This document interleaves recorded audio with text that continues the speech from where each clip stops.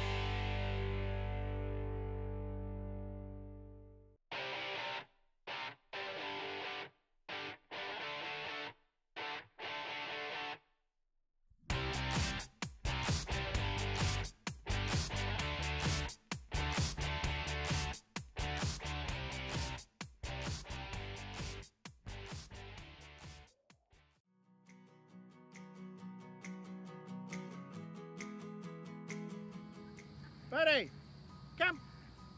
Oh, God, boy. Come. Sit. Good boy. Buddy, come. Come. Good boy. Buddy, sit. Buddy, down. Good.